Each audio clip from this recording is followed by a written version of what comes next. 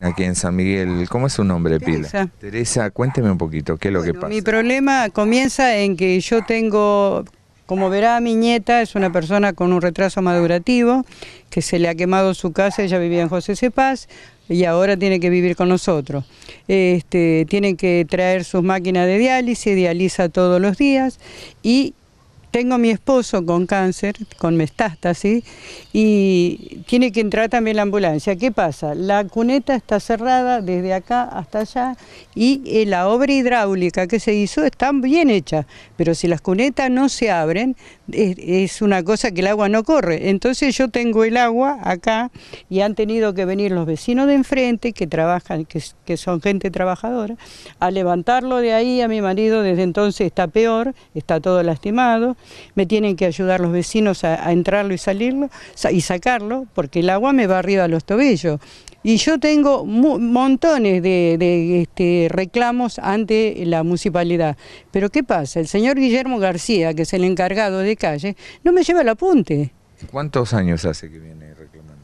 Y mire, desde, digamos, desde el anterior gobierno, eh, este gobierno, y, y sigo con el mismo problema. O sea, eh, lamentablemente se le llena de agua. Por supuesto, hasta allá tengo compuertas. Si usted quiere pasar Sí, sí, a mirar, tengo compuertas a esta altura. Y, y como verá usted, yo no soy la persona más joven para estar levantando y bajando compuertas. Este, y tengo mis impuestos al día, que pagué 8 mil pesos de impuestos.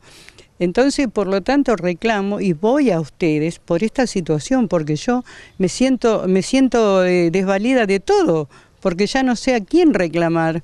Eh, este, y es el medio que, que yo veo que se ocupa de la gente, porque yo los estoy mirando y realmente pasan de una noticia de acá a otra noticia de allá, y ya, ya no, no tengo dónde ir. Sí, tenemos una sección que se llama Defiendo mi barrio en nuestro Instagram, arroba canal provincial OK, en el cual le damos la palabra, como en este caso a usted. Recuérdame la dirección. Balcarce 3245 entre Callao y Letoña, pero el problema comienza a- desde mi puerta hacia la calle Callao, que es donde hicieron la- el, el asfalto. Pero ¿qué, falta, ¿qué pasa? La boca de tormenta que debía estar ahí o está, no sé, está tapada.